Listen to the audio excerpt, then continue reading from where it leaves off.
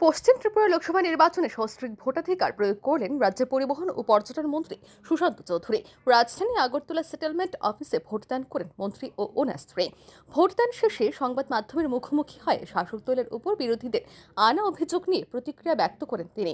তিনি বলেন, বিরোধী দলের পোলিং এজেন্ট দেওয়ার মতো লোক নেই। সেই জায়গায় তারা ইন্দি জোটের পোলিং এজেন্টদের বাধা দেওয়া হচ্ছে বলে অভিযোগ করছেন। কংগ্রেস ও সিপিআইএম এর পুরানো নীতি ভোটের দিন যত এগিয়ে আসবে, ততই বিভিন্ন অভিযোগ তুলে ধরবেন তারা, তিনি আরও বলেন, ইন্দি জোটের নেতৃত্বরা দুর্নীতিতে নিমজ্জিত। এ জোটের একাংশ নেতৃত্বরা জেলে রয়েছেন।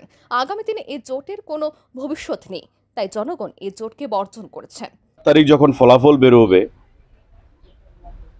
ঐতিহাসিক ভোটে আমাদের প্রার্থী বিপ্লব বাবু জয়ী হবে তো স্বাভাবিকভাবেই নিজের মুখ রক্ষা করার জন্য একটা এক্সকিউজ দরকার।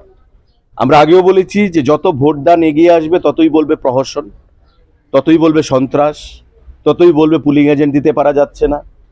আজকে যাদের সারা রাজ্যে পুলিং এজেন্ট দেওয়ার মতো লোক নেই, কার্যকর্তা নেই, ক্যাডার নেই, তারা পুলিং এজেন্ট কোত্থেকে দেবে?